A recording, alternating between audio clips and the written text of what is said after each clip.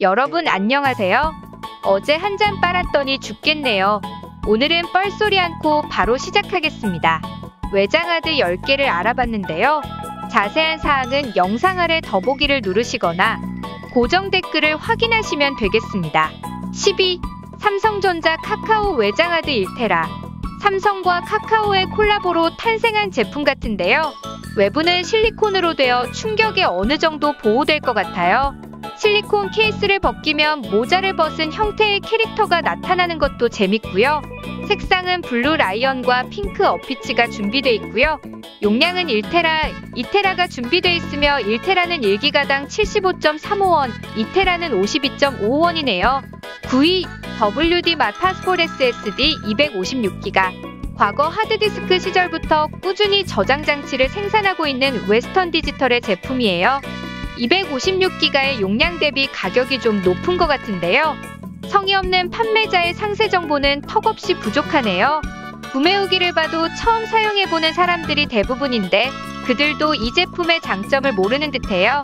디자인만 보고 고른 느낌인데 그마저도 리뉴얼된 바뀐 디자인 제품으로 배송한다는데 저는 글쎄올시다이네요. 256기가 기준 1기가당 410원으로 상당히 높은 편입니다. 8위 삼성전자 portable 외장 SSD T5 1테라 믿고 쓰는 삼성의 SSD입니다. 작은 사이즈로 어지간한 멀티메모리 리더기 사이즈 정도 되는 것 같고요. 입출력 단자는 C타입으로 집에 굴러다니는 아무 케이블도 사용 가능하겠어요. 상품평들을 보면 타 제품 대비 작고 빠르다고 만족하는 평이 대부분이네요. 가격은 1기가당 169원 정도네요.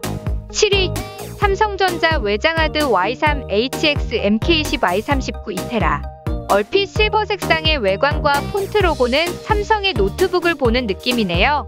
테두리엔 실버 크롬 엣지를 쪄서 고급스러움을 살렸고요. 상품평을 보니 대부분 초보분들이 가성비로 접근한 듯합니다.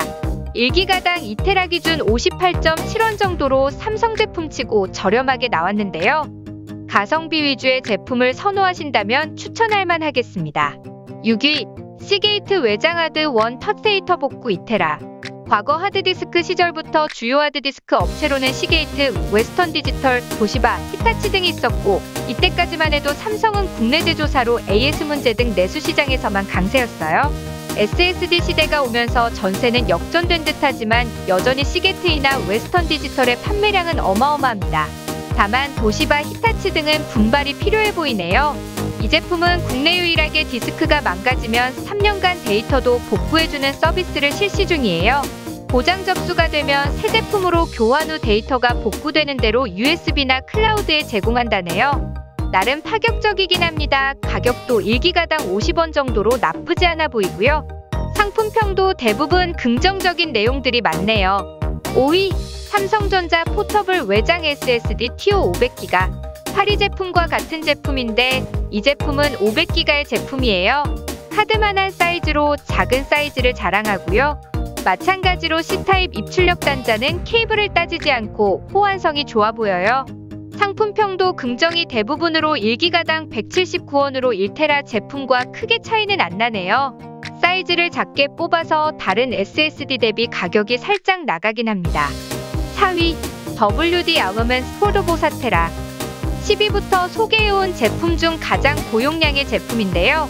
1기가당 35원꼴로 가성비 좋아 보입니다. 무광 블랙 바디의 유광 블랙 테두리는 시크해 보이고요. 가격으로 따져봤을 때 이만한 제품이 없는 듯하네요.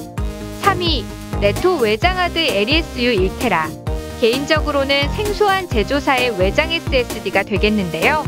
외부 하우징은 알루미늄으로 돼 있어서 내구성은 좋아 보입니다. 그런데 정말 솔직히 말하면 여느 중국산 제품과 다를 바 없는 디자인이긴 해요. 알리익스프레스에 가보면 이런 재질과 디자인, 색상의 제품들 널렸거든요.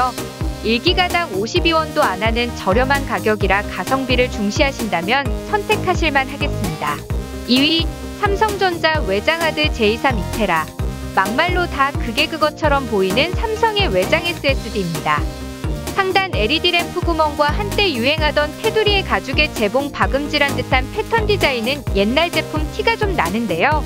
예상대로 2016년 출시된 제품으로 출시일은 좀 지났지만 그만큼 가격도 다운되어 용량 대비 가성비로 접근할 만하겠습니다. 1기가당 53원 정도의 가격이며 색상은 블랙과 화이트가 준비되어 있네요.